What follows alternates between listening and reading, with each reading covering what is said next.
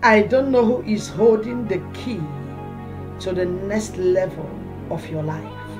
But I hear the Lord saying, pray for those of them that some persons are sitting upon their next level. Pray for those of them that the spiritual gatekeepers are to their next level have refused to open the door for. I don't know whom you are, but I pray for you today.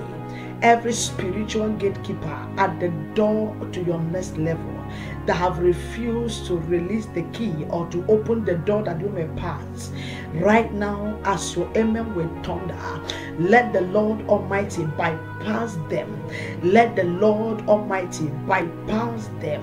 Let the Lord Almighty bypass them and break the gates and break the gates and break the gates by His power and give you access to your next level without any more hindrance from anybody, from any entity in the name of Jesus Christ. Uh, every personality that ought to be used uh, instead of these ones to move you with speed to your next level, to your next level, to your next level, uh, that these people will no longer assess you.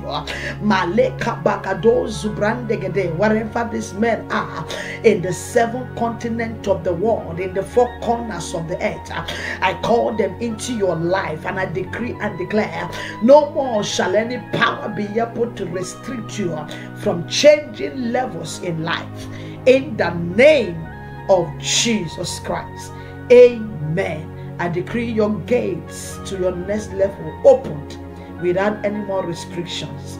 In the mighty name of Jesus Christ. Amen. I decree it is done. Shalom and God bless you.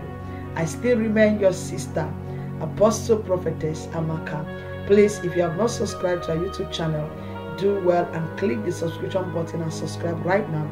If you are actually here for the first time, we love you, we celebrate you. Please, you can join the members of this channel and support what God is doing here, and God Almighty will richly bless you in the name of Jesus Christ. Amen. Shalom and bye for now.